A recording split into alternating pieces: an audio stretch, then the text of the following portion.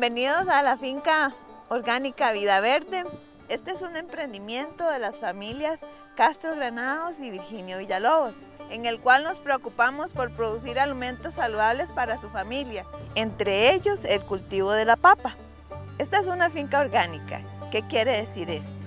Que nosotros aquí promovemos prácticas que tienen que ver con la mejora del suelo, porque consideramos que el suelo es un organismo vivo y como tal tenemos que cuidarlo, con la mejora del agua también, porque el agua es muy importante para todos nosotros. La agricultura orgánica busca que a través de esas prácticas podamos cultivar alimentos saludables, tanto para usted, para su familia, como para nuestro mundo, para el suelo, para el agua, para el ambiente. Tratamos de mantener los equilibrios tomando en cuenta que el suelo es el principal elemento, que el suelo es un organismo vivo y que debe entonces cuidarse, debe de promoverse, que hayan en él microorganismos, materia orgánica. Y por esto nosotros usamos abonos hechos generalmente en las fincas con fibras, con carbón, con algunos otros elementos. Tratamos de promover el mejor uso del suelo con prácticas que tienen que ver con coberturas, con rotación de cultivos por especies, para que así el suelo y toda la vida que hay en el suelo se regenere, se manifieste y genere potencialidades que van a llegar a nosotros, a nuestra mesa, en productos de alta calidad, sabrosos, porque las plantas expresan en la forma natural el olor, el sabor, cuando son tratados en forma orgánica. Somos parte de la Asociación de Productores Orgánicos de la zona norte de Cartago. Somos 12 familias que decidieron hace 19 años decir no y buscar un cambio en nuestras vidas y en las vidas de las familias que disfrutan de nuestros alimentos. Tenemos que hacer un cambio en favor de usted, de su familia, del mundo, porque necesitamos que haya salud para todos. Por eso es que debemos de promover prácticas que cuiden el suelo, que cuiden el agua y que cuiden de su salud. En este momento en Costa Rica hacemos abuso de los agrovenenos en el cultivo de la papa, que es uno de los principales cultivos de la zona norte de Cartago.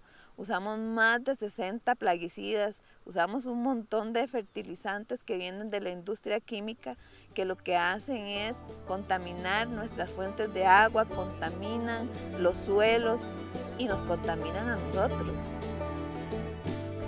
¿Y cómo producimos papa orgánica? Es un gran reto.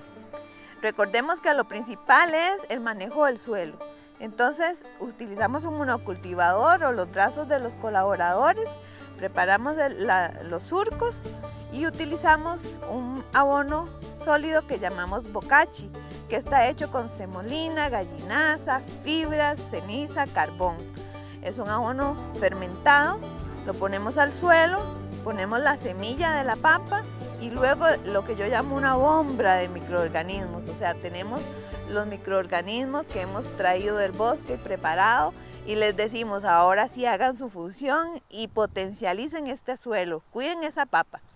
Luego la, la tapamos, unas semanas después ella va a brotar y crecer y empezamos a utilizar microorganismos que los utilizamos para que la papa fortalezca sus defensas. Utilizamos los extractos que hacemos de plantas medicinales y utilizamos biofermentos que hacemos a veces con bananos o con frutas para potencializar eh, que la papa crezca hermosa eh, y saludable.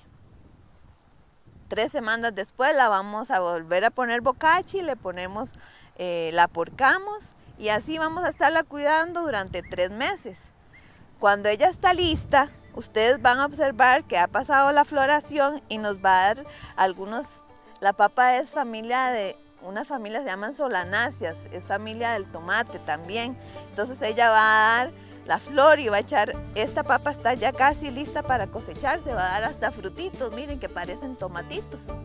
En la agricultura orgánica esperamos ese tiempo y luego la cosechamos.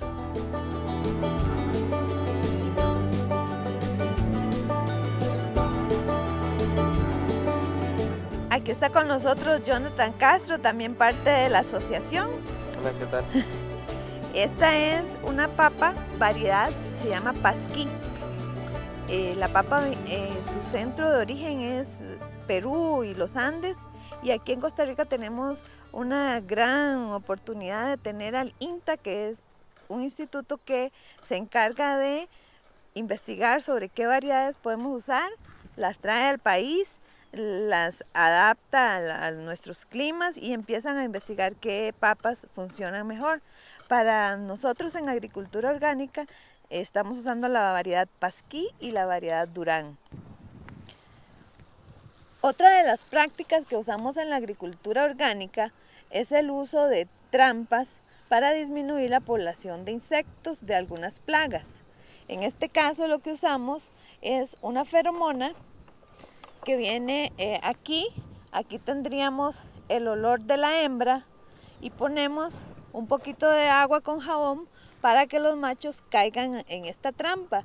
Con esto lo que conseguimos es disminuir la población de esos insectos en el área y por lo tanto que no nos lleguen a un nivel de plaga en los cultivos.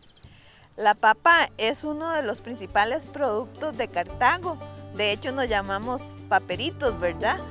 Requiere altura y frío. Aquí estamos a 1800 metros sobre el nivel del mar y ella podría cultivarse como de los mil, a partir de los 1500 metros sobre el nivel del mar. Sabemos todos que es deliciosa, ¿verdad? Pero también tiene mucha fibra, es bien alimenticia, eh, es muy saludable. Muchísimas gracias por visitarnos. Los invitamos a todos a consumir productos orgánicos, deliciosos, saludables para el beneficio de su familia y el beneficio del ambiente. Los productos orgánicos en Costa Rica están accesibles en supermercados, en ferias y están al alcance de todos los bolsillos. Hasta luego.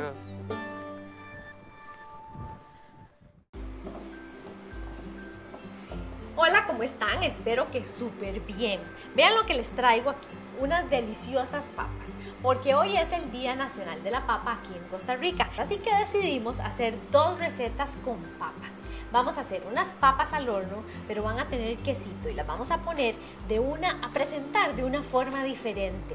Además vamos a hacer unos nidos de papa que quedan riquísimos porque llevan puerro, llevan yema de huevo y son perfectos para acompañar una carne o para acompañar un pescadito. Van a ver la delicia. Así que, ¿qué le parece si empezamos? Vamos a poner estas papas así enteras a hervir porque las vamos a necesitar para un puré. Yo les voy a dejar las cáscaras. Estas papas son para los niditos. Estas otras que reservé aquí son para las papas al horno. Entonces, vean, es muy fácil. Las vamos a cortar con cáscara. Vamos a aprovechar la cáscara. Ya están bien lavaditas. Vamos a hacer unas rebanaditas no tan finitas, medianamente delgaditas.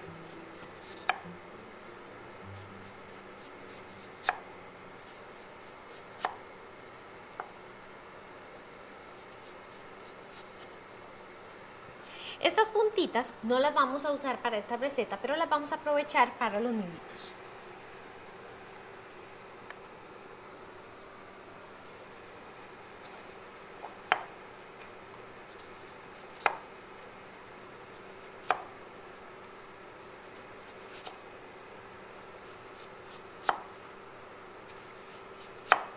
Bueno, y es que la papa es un ingrediente tan versátil porque tiene un sabor muy delicado, muy suavecito. Entonces la podemos combinar con muchísimas cosas, desde hacer un puré hasta hacer unos garbanzos que llevan papita, hacer una ensalada rusa que lleva papita. La verdad es que en la cocina costarricense se utiliza muchísimo y yo no conozco a nadie que no le guste la papa.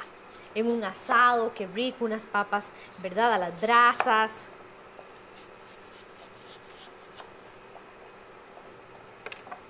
Bueno, y es que qué buena papa se produce aquí en Costa Rica. Por eso es que yo los invito a que vayan a la feria y ustedes busquen a los productores de papa y les compren directamente, porque ellos ponen todo su trabajo para qué? Para darnos un producto como este. Así que merece la pena que nosotros les ayudemos. Tengo aquí en este tazoncito donde vamos a hacer una mezcla para bañar las papas. Así que vamos a usar aceite de oliva,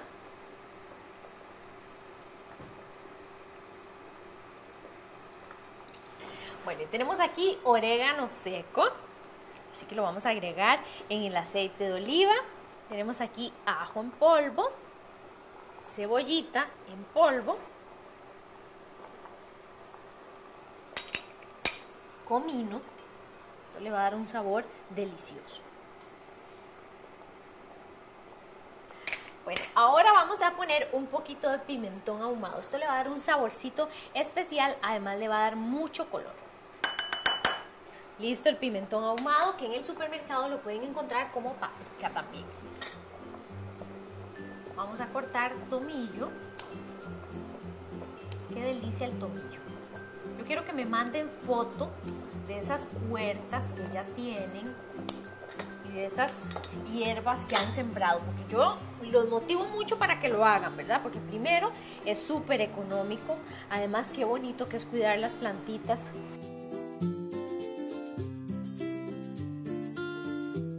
Ahora vamos a mezclar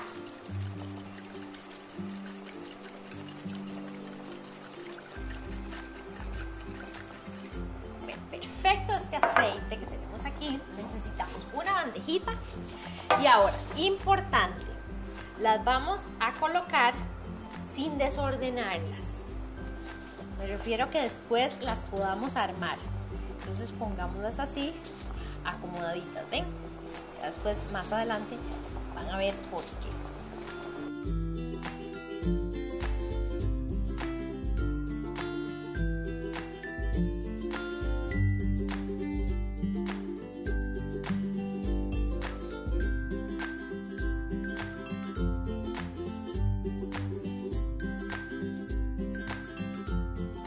Listo, ahora vamos a bañar esas papitas con ayuda de una brocha.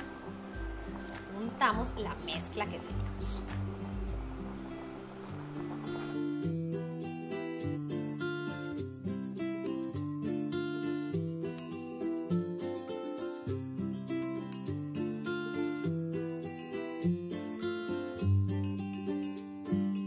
Bueno, me queda este poquitito, pero lo vamos a aprovechar para ponérselo al ajo.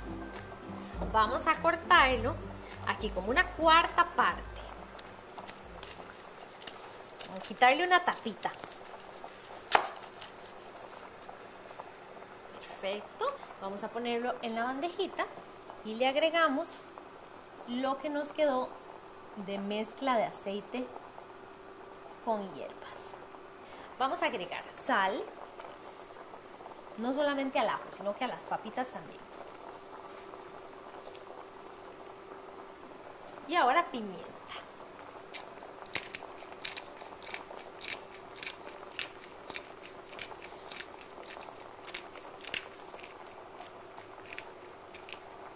Listo.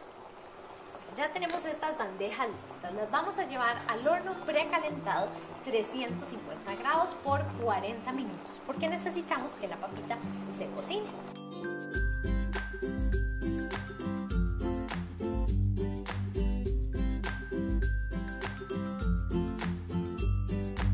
Bueno, ya tenemos aquí la papa. Ahora vamos a hacer de una vez, así calientito, el puré le dejamos la cascarita, ¿verdad? Que va a ser, van a ser unos niditos rústicos.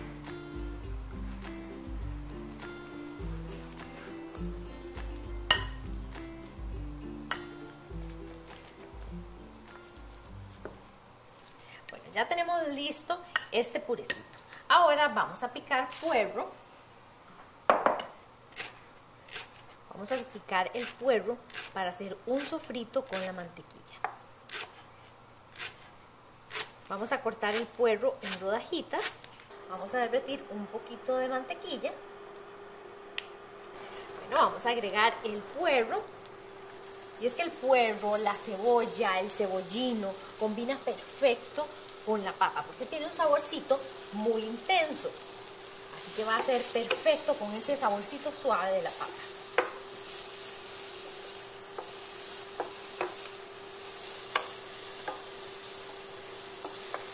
Bueno, ya tenemos este puerro sofrito, así que lo vamos a mezclar aquí con el puré.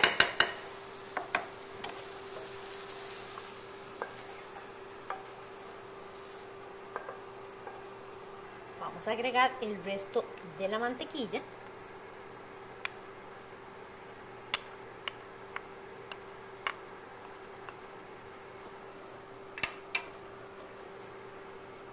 Y vamos a mezclar.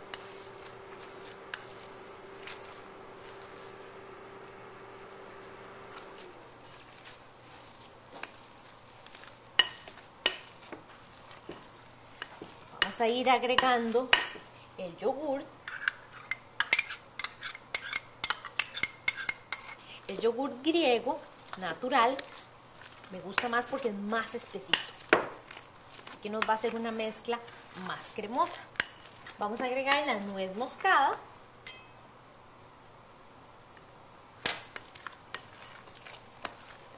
Y ahora por último vamos a agregar la yema de huevo.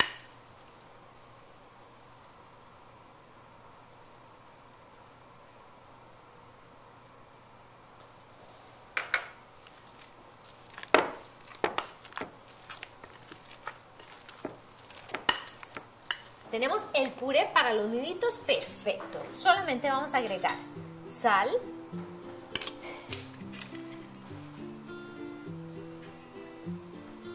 Y pimienta al gusto.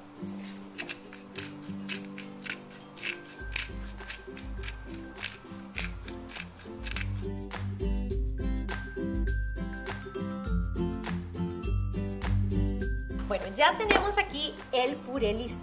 Yo le agregué sal y pimienta. Tenemos que rectificar los sabores porque recuerden que en un inicio yo a las papas no les puse sal, no las cociné con sal. Entonces, bueno, tenemos que probarlo aquí cuando ya está en el puré. Tengo una bandejita por aquí. Voy a poner un hilito de aceite de oliva. Con ayuda de una cucharita lo vamos a extender. Y ahora sí, vamos a formar los niditos. Colocamos una cucharada del puré.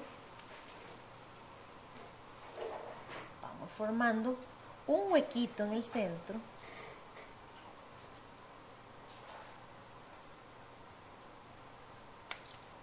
Vamos a recoger un poquito en los lados.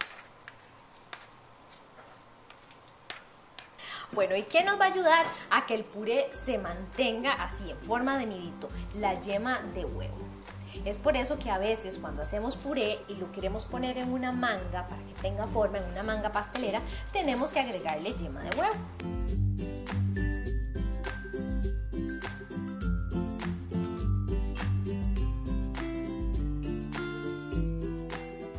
Ya tenemos estos niditos listos, así que los vamos a llevar al horno por 15 minutos, horno precalentado 350 grados. Nos vamos a ir a una pausa comercial y cuando regresemos vamos a hacer un chimichurri delicioso de culantro para acompañarlos.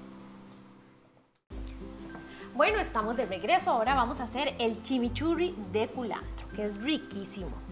Generalmente se hace con perejil, pero a mí me encanta hacerlo un poquito más costarricense con culantrito. Ya teníamos ese rollo de culantro lavado, lo vamos a poner aquí en el procesador con los tallitos. Vamos a agregar dos dientes de ajo, vamos a partirlo así, tres pedacitos grandes.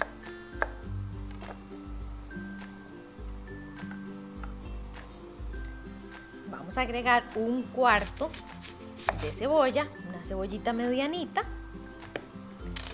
un cuarto igual lo partimos así gruesito porque de por sí todo se va a procesar. Vamos a poner unas tiritas de chile panameño. Esto le va a dar un sabor súper especial. Recuerden, no vamos a poner semillitas.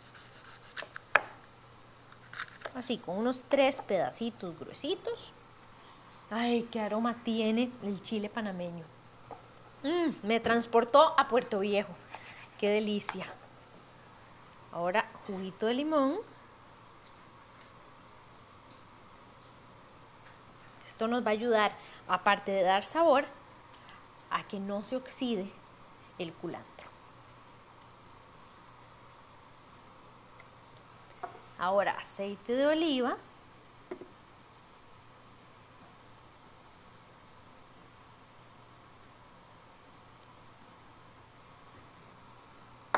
Y listo, vamos a procesar.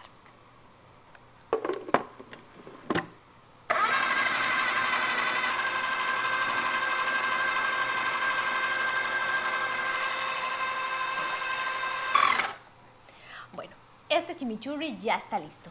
Yo creo que ya los nidos y las papitas también porque ya son el horno, así que voy a ir rapidito a traerlos.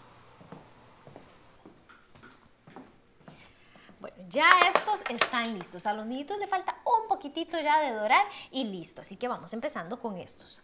En un platito vamos a ir armándolos.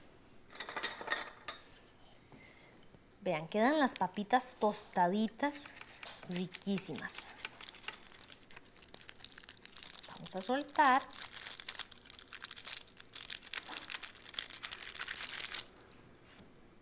Vamos a ir colocando las papas, vean que quedan bien tostaditas. Aquí tengo queso.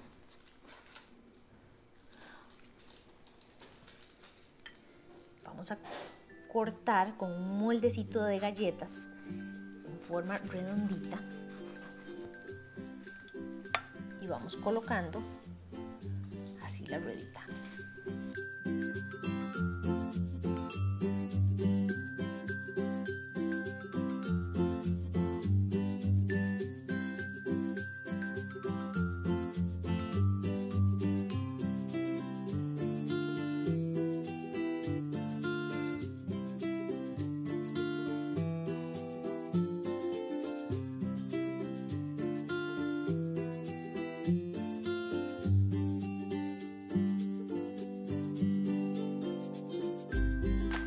Bueno, y vean, hacemos una torrecita con la papa, el queso. Al final le ponemos ese ajito rostizado que le va a dar un saborcito súper especial y ponemos tomillo para decorar.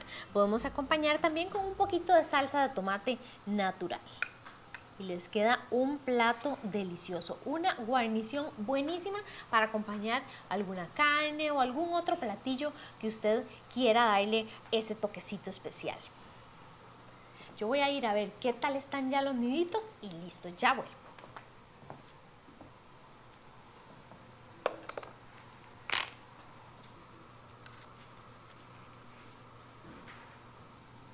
Bueno, vean qué rico que quedó el nidito y es una forma diferente de hacer puré y de usar la papa. Vamos a agregar un poquito de quesito parmesano alrededor del platito también para que se vea muy rústico.